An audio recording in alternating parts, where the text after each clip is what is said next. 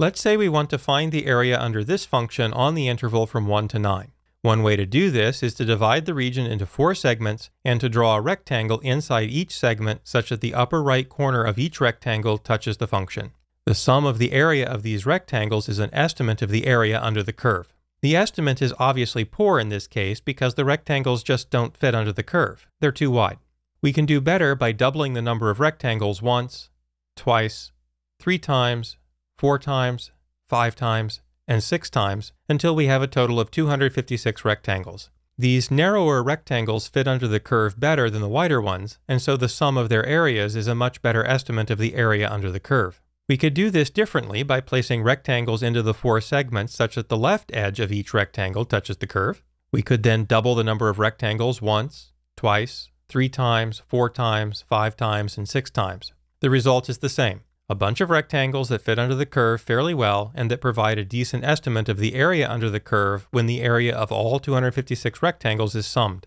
Finally, we could fill the four segments with rectangles such that the top center of each rectangle touches the curve. Doubling the number of rectangles once, twice, three times, four times, five times, and six times leads to the now familiar result that the rectangles better fit under the curve, allowing the sum of the area of all rectangles to provide a good estimate of the area under the curve. It does not matter whether we place the rectangles such that the curve touches them on the upper right corner, in the center, or on the upper left corner. So long as they are narrow enough to fit nicely under the curve, they can provide an estimate of the area under the curve. What we'd like to do is translate this concept into math. Looking at the same function again, let's imagine we want to find the area under the curve between these two x-coordinates. Let's further imagine that we will estimate the area using rectangles inside three equally sized regions. To translate this into math, we need labels for the x-coordinates that define the range of each of these regions. From left to right, let's call them x0, x1, x2, and x3. Now let's place a rectangle between x0 and x1 such that the upper right corner of the rectangle touches the curve at x1. The area of this rectangle is its height, which is the value of the function at x1, times its width, which is x1 minus x0. To estimate the area under the curve, we need to add to this the area of the rectangle in the next region, which is its height, the value of the function at x2, times its width, x2 minus x1. Finally, we need to add to this the area of the rectangle in the third region, which is the value of the function at x3 times x3 minus x2. Let's call this sum of rectangle areas capital S and give it a subscript of 3 to indicate the number of rectangles used in the sum. This can be written more compactly using summation notation with the variable j serving as the subscript and taking values from 1 to 3. The argument to the sum is the height of each rectangle, the value of the function at x sub j, times the width of each rectangle, x sub j for the x-coordinate of the right side of the jth rectangle, minus the x-coordinate of the left side of the same rectangle, which is x sub j minus 1. The width can be written even more compactly as delta x sub j, with the understanding that this stands for x sub j minus x sub j minus 1. Three rectangles do not provide a very good estimate of the area under the curve from x0 to x3, and so we might want to include more rectangles. To do this, take the height of the jth rectangle times its width and sum from j equals 1 to an arbitrary number of rectangles n. This is s sub n, a sum of the area of n rectangles and is called a Riemann sum. The number of rectangles could be 6, 12, 24, or any other number. But S sub n only becomes a good estimate of the area under the curve if we take the limit of this quantity as the number of rectangles, the value of n, goes to infinity. In the limit of including very many rectangles, S sub n is the area between the curve and the x-axis from x0 to x sub n, and is written symbolically as the integral from x0 to xn of the function f of x times an infinitesimal width dx. This is the Riemann definition of an integral between two fixed limits, sometimes called a Riemann integral. In the integrand, f of x is the height of an infinitesimally narrow rectangle, and dx is the infinitesimal width of that rectangle.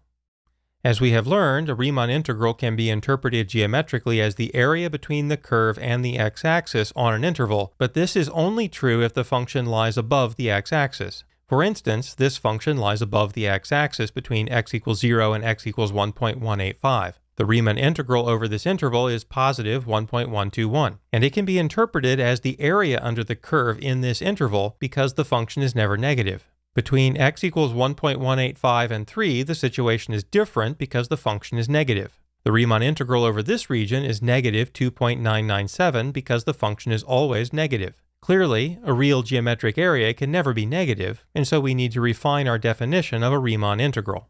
A better definition of a Riemann integral is that it is the net area between the function and the x-axis over some interval with the understanding that areas below the x-axis are negative and areas above the x-axis are positive.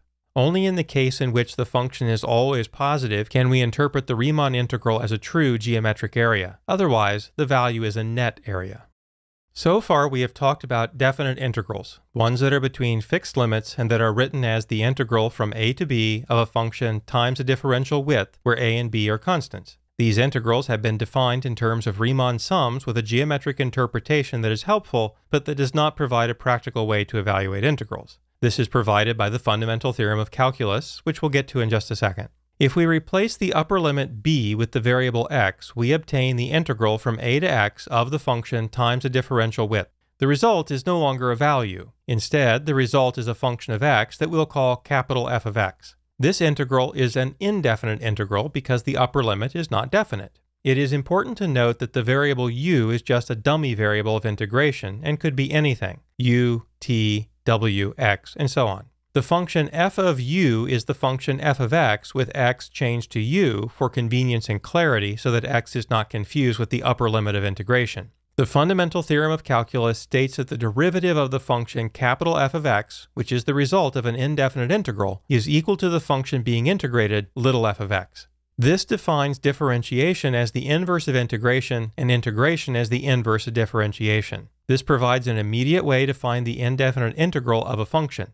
Determine what function, when differentiated, gives the function you're trying to integrate. For instance, what is the integral of cosine x? The function that when differentiated gives cosine x is sine x. Thus, sine x must be the integral of cosine x. Of course, adding any constant such as c also gives cosine x when differentiated. We sometimes call this the constant of integration.